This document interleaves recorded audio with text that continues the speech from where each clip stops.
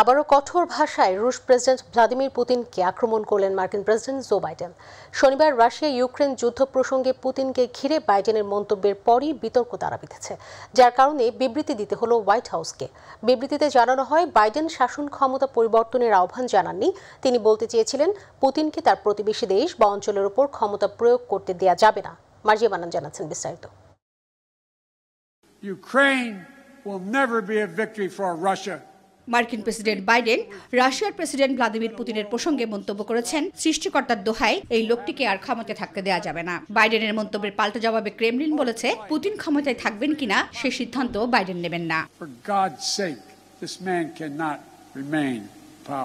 বাইডেনের এই মন্তব্য ঘিরে বিতর্ক দানা বাঁধায়। হোয়াইট হাউসের পক্ষ থেকে এক বিবৃতিতে জানানো হয়, বাইডেন শাসন ক্ষমতা পরিবর্তনের আহ্বান জানাননি। তিনি বলতে চেয়েছেন, পুতিনকে তার প্রতিবেশী দেশ বা অঞ্চলের ওপর ক্ষমতা প্রয়োগ করতে দেয়া যাবে না।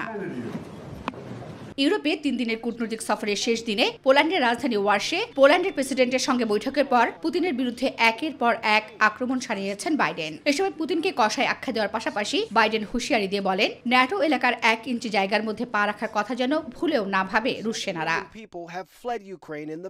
এদিকে ইউক্রেনের পশ্চিমাঞ্চলের শহর লিভিভে শনিবার ব্যাপক রকেট হামলা চালিয়েছে রাশিয়া। রাশিয়ার হামলার নতুন লক্ষ্যস্থল ইউক্রেনের পূর্বাঞ্চল বলে জানালেও পশ্চিমাঞ্চলে হামলার ঘটনা ঘটল। লিভিভের মেয়র আন্দ্রিয়ে সাদভি বলেন মার্কিন প্রেসিডেন্টের পোল্যান্ড সফরকে কেন্দ্র করেই হামলার জন্য লিভিভকে বেছে নেওয়া হয়েছে। হামলার মধ্য দিয়ে রাশিয়া আসলে বাইডেনকে হ্যালো বলতে চেয়েছে.